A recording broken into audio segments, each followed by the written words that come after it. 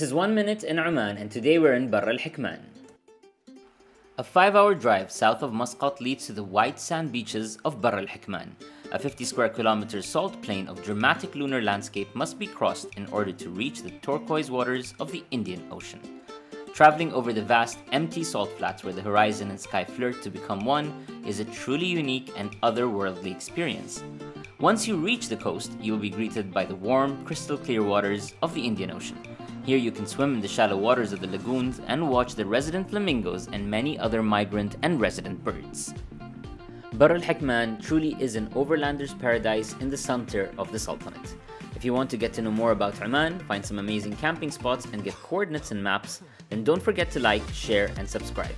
And keep exploring with Gargar.